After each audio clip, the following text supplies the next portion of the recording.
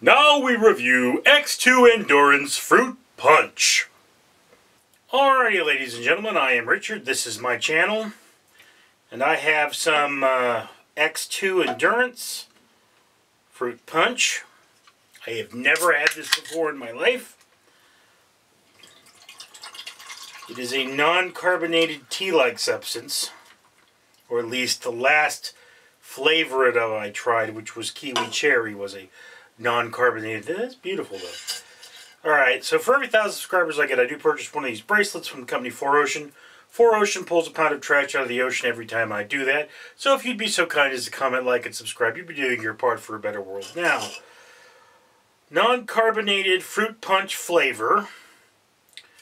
40 calories, natural energy, no crash or jitters, antioxidants, electrolytes, refreshingly non-carbonated, coconut water for hydration. Okay.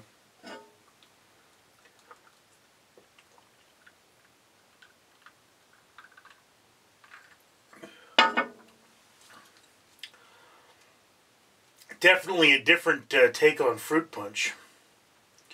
Natural energy, green tea, hydration, coconut water, antioxidants, and electrolytes with rooibos.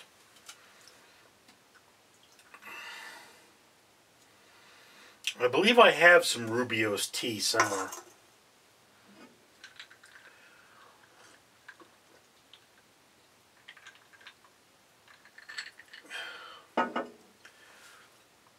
The fruit punch is more of an aftertaste.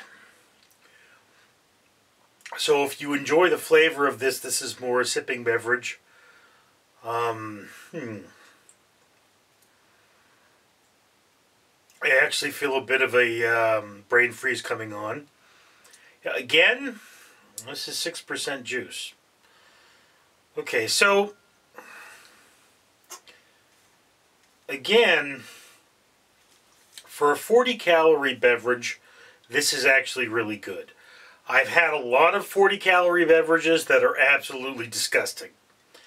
So, um, this one, I would have to say is something of a win. It tastes pretty good for what it is. It's not objectional.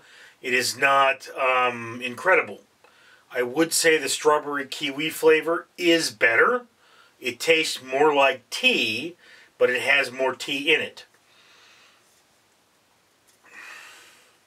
I think this um, has more electrolytes, but I'm not sure. Anyway, yeah, I mean, this seems to be a pretty solid product. I would, I would definitely want to drink one of these on a hot day. On a cold day, not so much, but to be completely honest with you, I should be sticking with water because, well, you can tell. Just look at me. Anyway, that's just my opinion. I'd love to hear yours in the comments below. I'm Richard.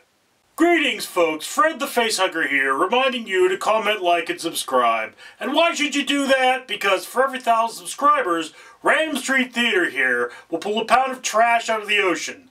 That's through the company 4Ocean. And why? Why do we pull trash out of the ocean? Because your world is dying. Care about your world, comment, like, and subscribe. It's not that hard.